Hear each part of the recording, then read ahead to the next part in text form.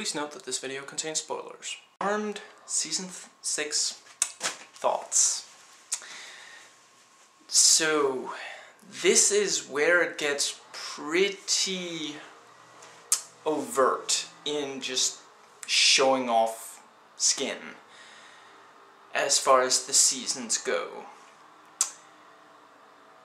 And the writing is not all good. I would say this season has some of my least favorite episodes of the entire show, but also some of my most. The obvious thing to talk about with this season is the character of Chris. He was introduced in the finale of season 5, and we spend this season just finding out who he is and what exactly his intentions are. It was made clear in the season finale of season 5 that he knew more than he was letting on, and he did let some things happen that offhand do seem pretty bad. And it was also made clear that he had some plans that he wanted Leo out of the way for. In this, we have Leo returning in the very first episode. Yeah, he's such an integral part of the show, you can't really keep him away for terribly long. And one of the first things he says is that he changed. He has changed because he was stuck in the cage fighting gladiator battles with a skull that they really like to show that the prop department provided for them in the first two episodes of the season, Valhalla of the Door Dolls, parts 1 and 2. Leo changing, he becomes a bit of a badass. He dons his best furrowed brow and Clint Eastwood impersonation, and he actually kind of pulls it off. He does, he is kind of badass in this season. The, returning to Chris, it I think the show does a pretty good job of balancing you're never entirely convinced that he's just evil but you can't completely shake that feeling that he has something else going on. You know he keeps glaring at Wyatt and you know saying you know, in time you'll trust me too, and they all will, and I should be afraid of you, Wyatt, and, you know, stuff like that. And then, you know, we realize that he's not only a Whitelighter, he's also a witch, when Bianca, the buxom assassin of the future, comes back to, yeah, to take him out, and we, that's when we realize that he wasn't just protecting Wyatt from evil, he was trying to prevent Wyatt from turning evil, to become the greatest force of evil of all time. And I think no matter what your feelings on the whole Wyatt arc, Wes Ramsey is just awesome as Wyatt. In this season, we only see him as evil Wyatt, but he's just, just awesome. And it's also interesting to see how they conceive of evil when, you know, when we see characters otherwise thought of as good turning evil with, you know, it's apparently hair, it's the color of your clothes, you know, make that darker, it's facial piercings, and that's about it. That's that's evil.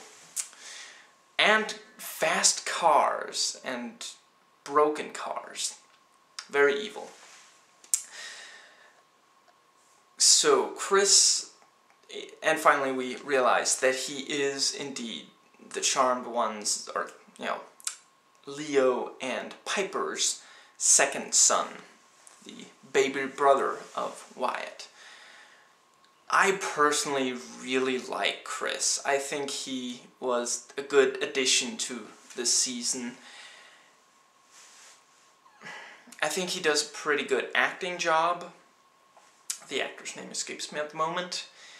And he's just, you know, he's as neurotic as Piper or just about, and you know, very determined, and he can pull off both, you know, when he's like scared and insecure, and when he's kind of confident. It's maybe very lucky that he just disappears at the end of the season. I'm not sure how he would really fit in to the seventh season. And, you know, he doesn't even leave a corpse. He just fades away. And it is a good kind of moment with, you know, they, they realize and we realize they didn't lose Chris. He just, you know, he's there. He's just now an infant. The season finale is one of my favorites. The two-parter, it's a bad, bad, bad, bad world. I believe that's the correct amount of bads. The whole alternate plane, you know, alternate world where everything that was good is now evil and vice versa. Also strip clubs, very evil. I, I just love, I mean, personally, I love the whole alternate world thing, but also just how they pull it off, you know. It has some really priceless, you know, the, the look of the people who are now the reverse of the morality they were before, you know. Evil Leo and Chris are just a riot. You know, the the spiky hair on Leo and and his evil beard, you know, ever since a certain episode of Star Trek the original series, we've known beards, you know, the the goatee kind of evil, very evil. Although I guess that's also, you know, a common depiction of Lucifer. Anyway, the whole thing, you know, and Leo wants to return Chris to a world of evil, and you know, one of the best parts, Barbas, the good Barbas, the other world's Barbas, is just hilarious. A complete hippie, and still kind of creepy. You know, the, the whole thing, you know, both of the worlds that we see, you know, both the alternate evil world is creepy and the the real world getting turned into this, you know, Pleasantville, as Paige puts it, version of itself immensely creepy. You know, everyone's so chipper and, you know, people getting yeah, seriously harmed for, you know, minor infractions. And in general, just, you know, Barbas, so much fun. You know, in, in both parts, also when we see the evil one and he points out, you know, that he's the one doing all the work for Gideon and how he just leaves Gideon to die when, you know, he sees that Leo is, you know, killing him with the electrical. I'm not even sure we had seen the elders used that kind of power before, but it's definitely pretty awesome. Again, you know, Leo as the badass, you know, he closes off the season by, you know, roasting Gideon.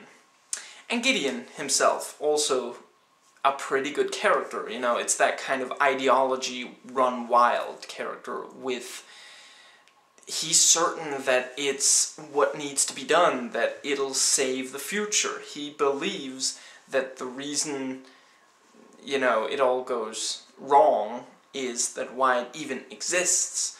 And, you know, we realize, you know, I believe it's Leo who puts it together, that it's Gideon's repeated attacks on Wyatt, you know, trying to, you know, get through his defenses, I guess, to kill him, even though he's such a powerful being, and and he never succeeds. You know, I could easily see even tiny little infant Wyatt take out Gideon, the powerful elder. You know, that that's what turns him, and that makes good sense, you know, and it's the whole nature versus nurture, which is also somewhat explored in the episode with the Minotaurs. You know, and the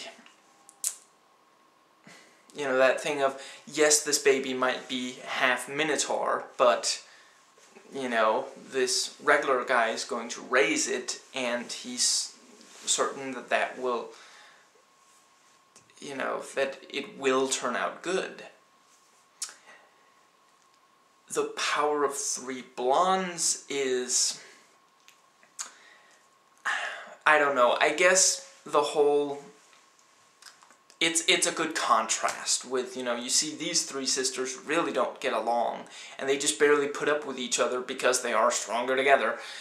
And you know the real charmed ones are much better at you know they actually do you know stay together. And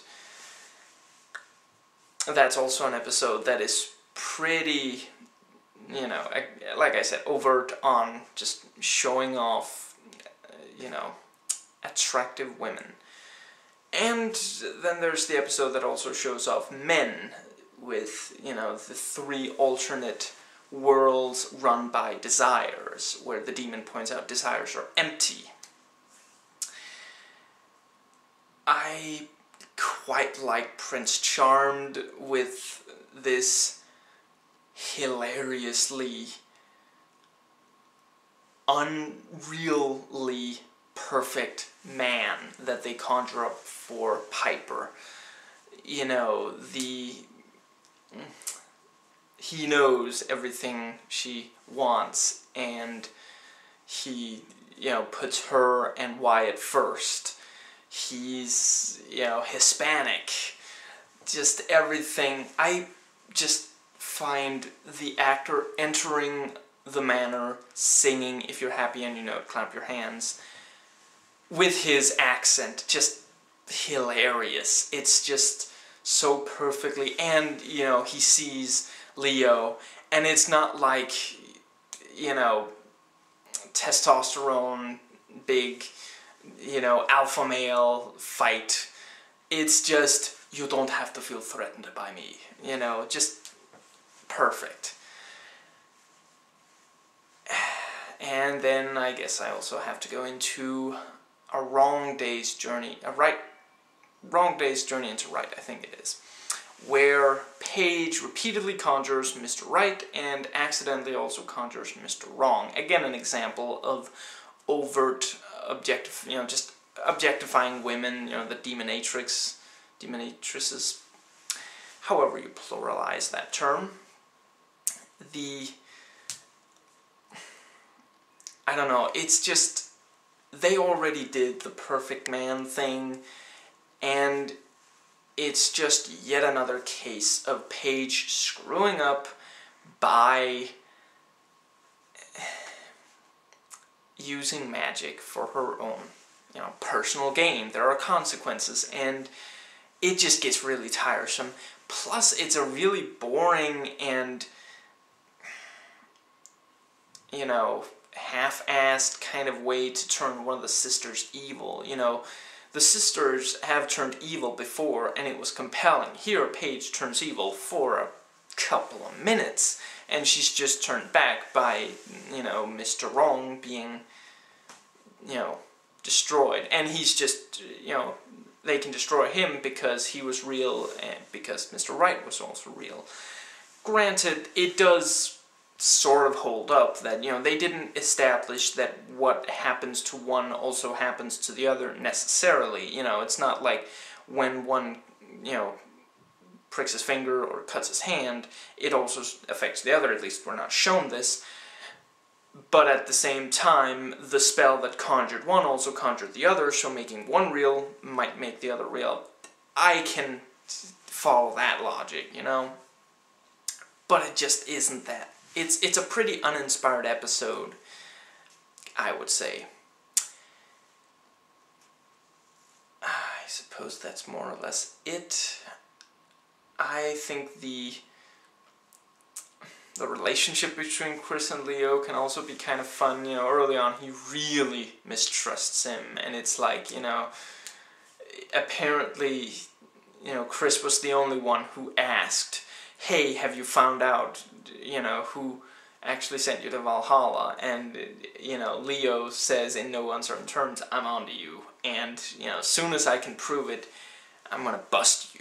And you know he, he's the he's the badass cop cliche at that point basically. And we have you know and then going through various time periods know, I think that was essentially just to get them out of the episode and to provide a side story for that episode. But it is kind of fun, and that dinosaur is pretty good CGI. The and then we have, you know, he realizes what's going on, and, you know, we have the genie, Ginny the genie, who's a demon. I personally find this the far more compelling of the two episodes with genies, or at least, I don't know, the more entertaining one. You know, we also had French Stewart as a demon, as, as a genie in the second season, I believe the second season finale, and that one just isn't as overall entertaining.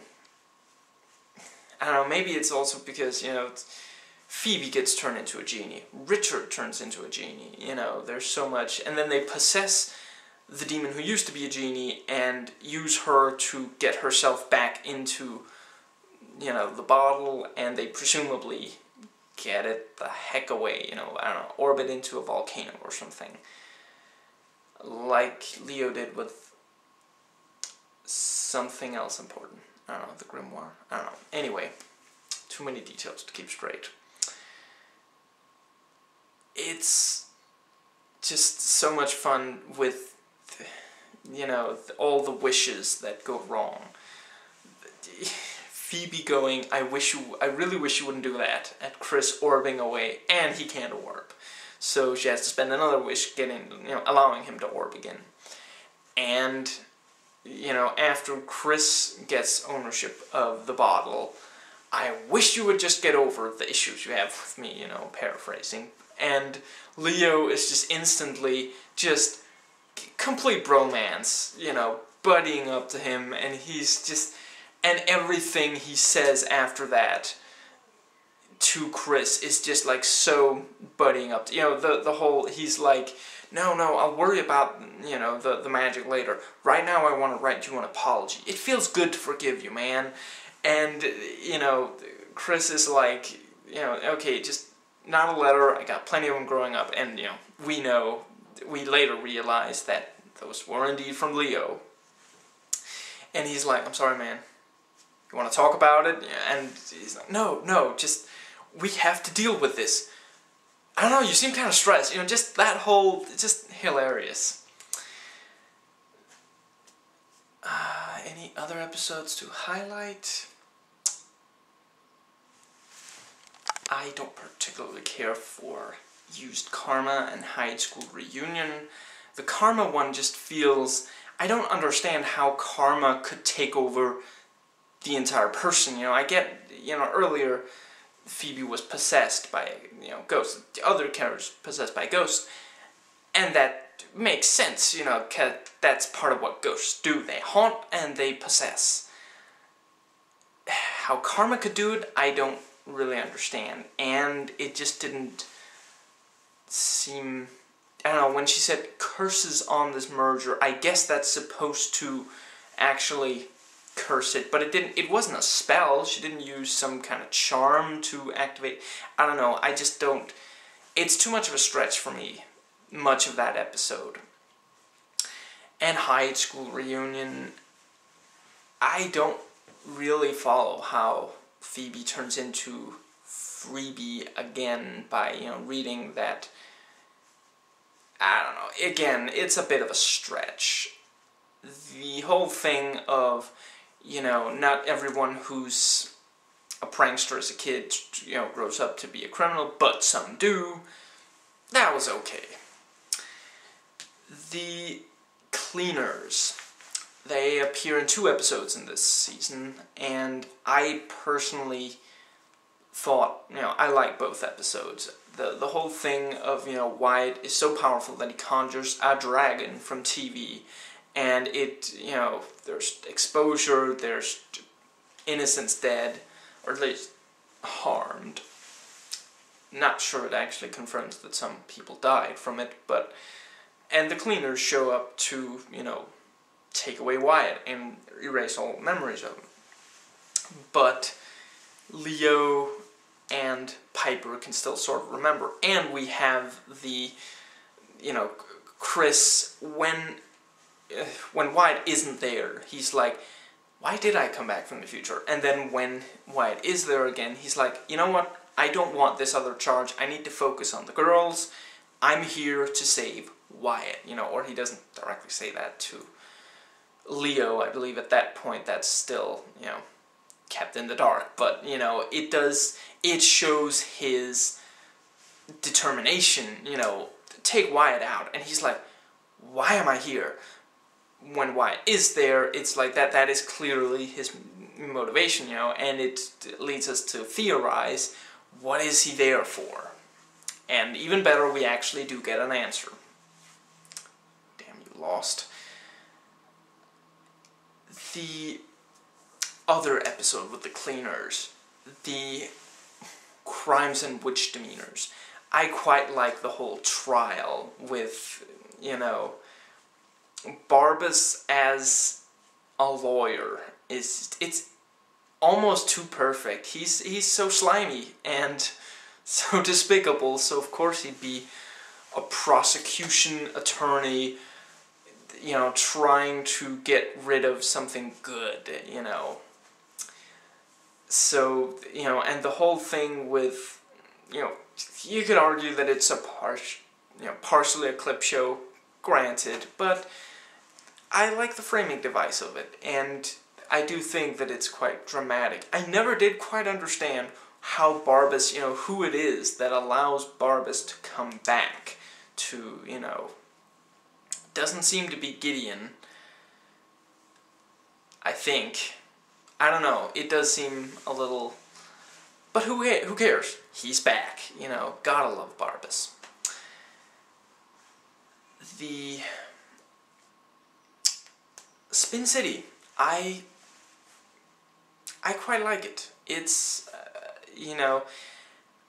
Jodi Lyn O'Keefe is just awesome in that kind of role. You know, she just needs to play someone bitter and or goth and just really, really dangerous. You know, she does it here, she does it in, she appears in two, two, two and a half men episodes, and one of them she definitely rocks the whole dangerous kind of do not mess with me kind of thing. She does it in Prison Break. She's just you know, that's the kind of parts she needs to get more of. You know, those are really the only I can think of where I've seen her do that. And she's just fantastic every single time. She just convinces you, you do not want to mess with this girl, you know? And we also have Chris, you know, first he is, you know, being affected by the spider demon, I think something like that's her name. But he keeps hitting Leo after that. You know, it's the kind of he is furious that he was, you know, abandoned as a child. And, you know, it really works and you really feel it. I suppose that's everything. Oh, how could I forget? Witch Wars. I don't know how other people feel about this. I just really love the episode, and it's a personal preference kind of thing. It's partially because I can't stand reality TV, and the show just it's basically a mouthpiece for people like me. You know, you have the lines of, you would think the demons thought of reality shows, but no, humans did it first. And, you know, humans are just lining up to humiliate themselves on national television. All reality shows are evil, or sick, or whatever it is Leo says. You know, just perfect, you know. I don't know, I guess if you like reality shows, you might also enjoy it. I just I just love all the commentary on reality shows in it, and you know, not only does you know the Charmed ones take out the apparently the crew of two. I don't know exactly how that works out because it still changes cameras. You know, after both hosts are dead, and we never actually see anyone. You know, in the anyone else in the control room. They have the you know controls for the show. The hosts, the contestants, and the audience, the demonic audience. You know, plus, in the audience, we see these obnoxious types that I have a feeling are common in reality show viewership. You know, the people who are yelling at the screen and taking sides and judging people based on nothing other than what is presented, you know. Yeah, I'm starting to rant, and I don't want to take up any more time, so hope you enjoyed it. I've reviewed other parts of this series, the links are in the description box. Please rate and comment, and hey, if you like this video, that subscribe button's just waiting for you to click it.